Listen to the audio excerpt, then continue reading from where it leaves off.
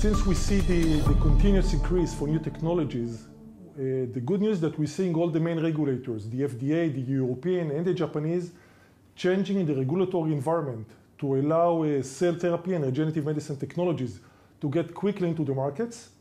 Uh, it started uh, by the end of 2014. We're seeing the Japanese and afterward the, the European coming with the adaptive pathway and the accelerated pathway. And they're basically saying we are willing to share the risk with you. We have an interest in your product because you're going to save us billions of dollars and you're going to improve the quality of life of our population. Therefore, we're going to share the risk with you. You can go quickly into the markets by relatively uh, reasonable but not a huge size uh, clinical studies.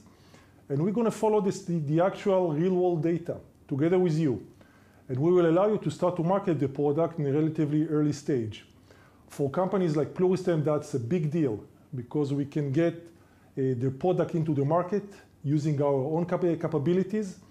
And eventually that's going to give us a much higher portion in the product and in the marketing of each and every indication.